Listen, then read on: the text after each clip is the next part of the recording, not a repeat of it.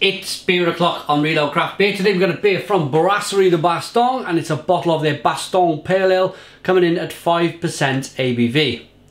Blonde BPA written on the side of the bottle there. It, you can see from the bottle it's got a slight haze going on.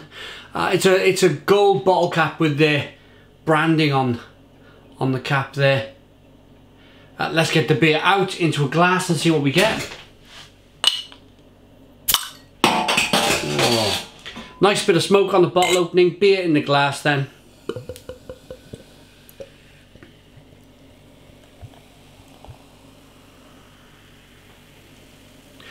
Quite a carbonated beer. Or you can see all that sediment there. Bottom of the bottle. Bottom just under a third of the bottle. I'm to leave that in the bottle for now and show you just how clean and crisp that beer looks. It's, it's a four finger whitehead, good levels of carbonation, very clean looking beer, uh, golden amber in colour.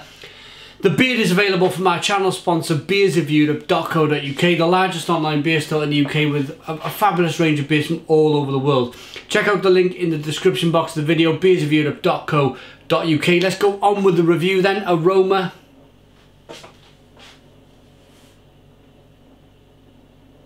It's a nice, it, it's very much the aroma is, is following the taste. It looks clean and crisp.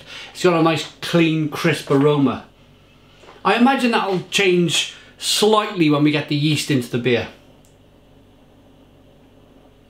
But it's slightly peppery, touch of lemon.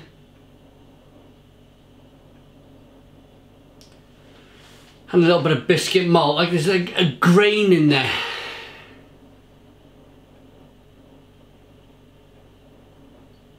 Let's dive in.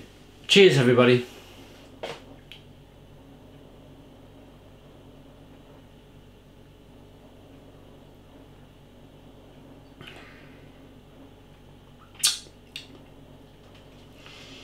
Mm. It's got a nice hop character to it.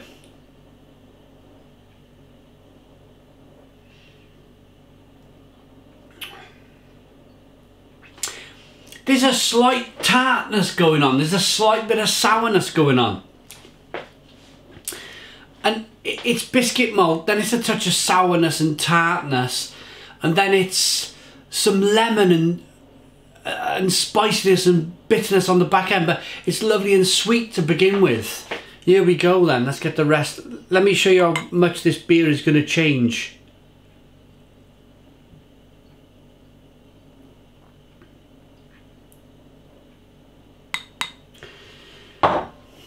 Look at that, what a difference.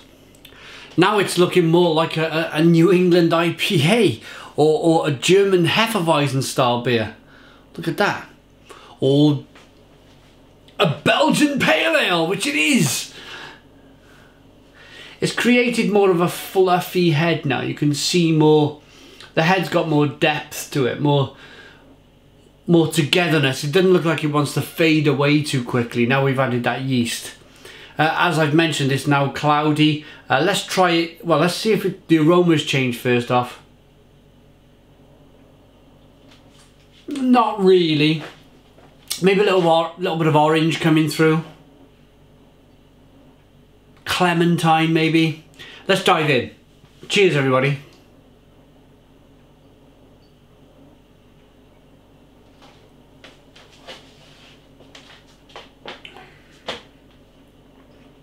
Hmm. It's a little bit more rounded in the flavour.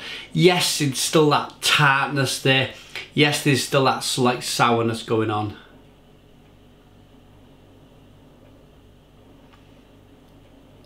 It's a very drinkable beer. Carbonation pushes the beer on the inside of, my, of the mouth. A little bit of biscuit malt to begin with. As I said, bitter on the back end. It, it, it's it's a funny thing, beer. It's a funny thing. When I read pale ale now, pardon me, although pale ales have been brewed for millennia, for more or less forever, pale ales have been brewed. I suppose, yeah, I, I, I need to take into the consideration the blonde before I comment too much.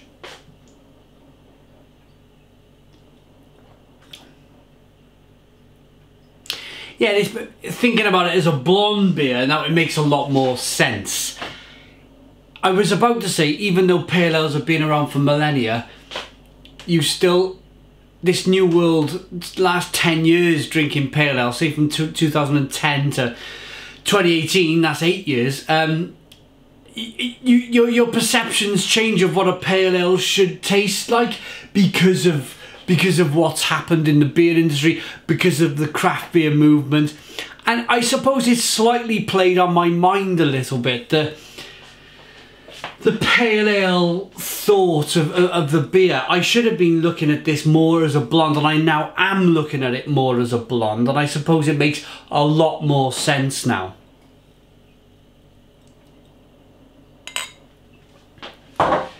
Brewery de Bastogne, Bastogne Pale Ale.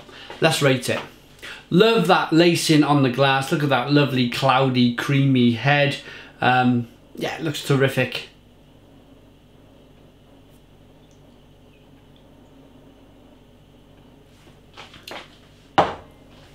I'm going to rate it. I'm going to give it...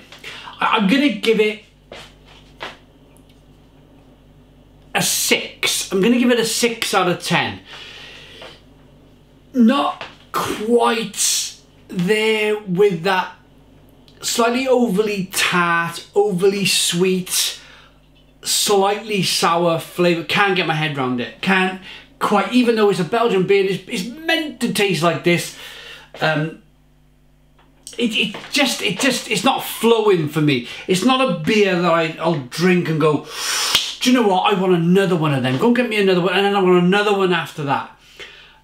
And that's, that's for me, that's where the beer slightly falls down. I'd want to move, I would enjoy it, but I would quickly, I don't think I would remember this beer. If you asked me about this beer, if I went to Belgium for a week, tried a half of this, you asked me about the beers I tried from Belgium a week later in the bar, I, I probably wouldn't be able to remember the It's one of those quite nice, quite drinkable beers, but if I'm honest, a little bit unforgettable. So 6 out of 10. Please put your comments in the comments box. Subscribe to our daily beer reviews. Give us a big fat thumbs up. Boom! And cheers.